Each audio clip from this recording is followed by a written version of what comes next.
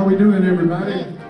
I guess I'd always been Welcome y'all to the into show. movies. I've been excited about movies. I loved them. My whole family's watched them. And during COVID, I lost my job, just like a lot of people did. But um, I just kind of felt like there was a chance for me to just take a different avenue, a new career path. And so I decided to try film school out. And um, hopefully, whenever I can graduate film school, if I can make it and find a job, I'm gonna make it. But if I can't, I guess I gotta move somewhere else and try again. To me, anywhere and everything is, is uh, important as far as it's forever. So you try to kind of make it look as right as you possibly possibly can. You're not wanting to insult the intelligence of the audience, but your resources are limited. And you don't have but so much budget, and you got to make Birmingham look like Chicago, you know. So you go do that, we take liberties, but we have to. But uh, we mean well. being able to tell stories. I've always been kind of a daydreamer, and so getting to have that be my job is kind of like waking up and being a kid. It's a lot of work, but it's uh, creatively uh, re- rewarding.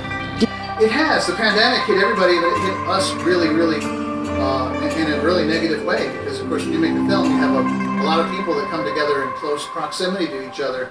We, we know we got back in, but yeah, it shut it down. It was terrible. Uh, it was a good thing I didn't take all that money and go to Jamaica and spend it, man. It was you put it in the bank and save it because you needed to buy groceries. It, it was uh, it was tough for everybody. Uh, uh, the industry largely shut down. Um, at that during the pandemic, I, I shot and directed part of a TV show called The Fishmonger on the Outdoor Channel. You should check it out. It's really good. Um, uh, but yeah, the pandemic was. It was there's still aftershocks because people are still getting sick.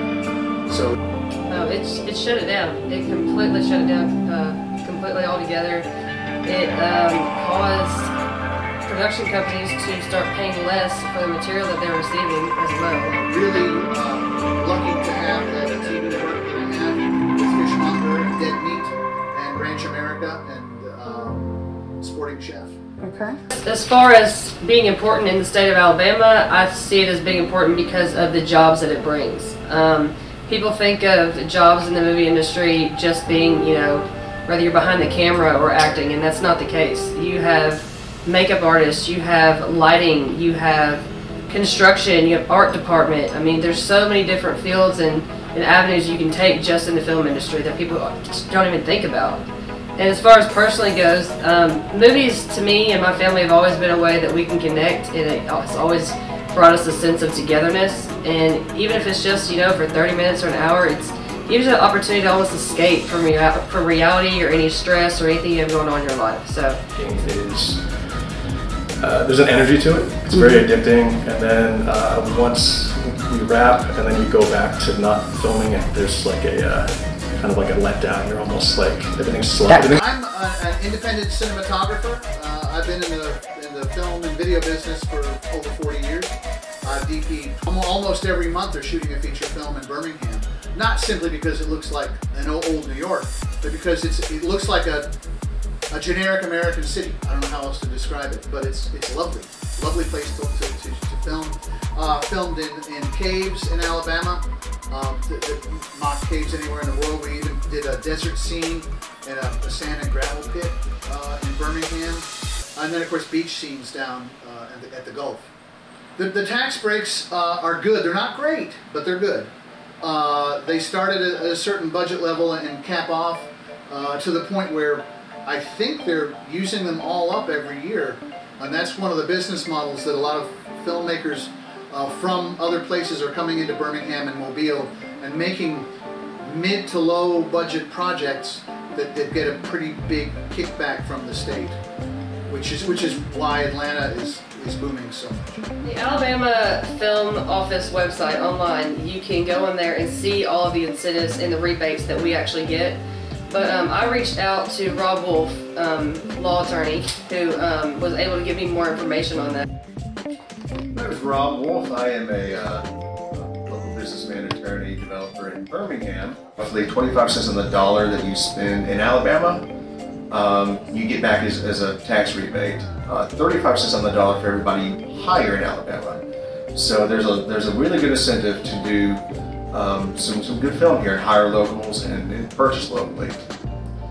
Um, so to qualify for that, you have to uh, produce your budget and an application with the Alabama Film Office in Montgomery. They look at it, they approve you, um, make sure your your uh, your financing is solid and, and, you do have sources of income, and then they, they grant you the uh, a carve out of, of, of, our, our limit on our on a rebate for the year. Uh, our rebate right now is a $20 million cap. Uh, it's, uh, it's funded every year by a vote of the legislature, and it will go away. It can only go away the Alabama Constitution is, is amended to make it go away. So we, we keep that, we, we're keeping that here. Before COVID, we were about to ask the legislature to raise that because we had a lot of film going on at the same time. We're just now recovering after COVID, but, um, that's $20 million cap, and each film has a cap of how much money they can they can qualify for. The Alabama wants to level playing field.